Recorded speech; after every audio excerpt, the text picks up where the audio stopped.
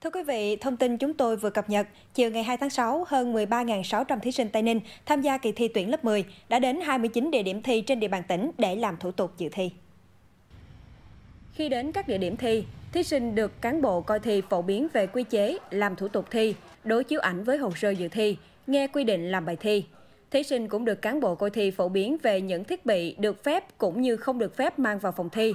Đặc biệt, các thí sinh ăn mặc theo đúng quy định thi phòng thi. Lưu ý thí sinh, trong các ngày thi những thắc mắc hoặc phát hiện bất thường trong phòng thi, thí sinh cần báo ngay cho cán bộ coi thi. Ngày mai, 3 tháng 6 năm 2024, kỳ thi tuyển sinh lớp 10 năm học 2024-2025 chính thức bắt đầu.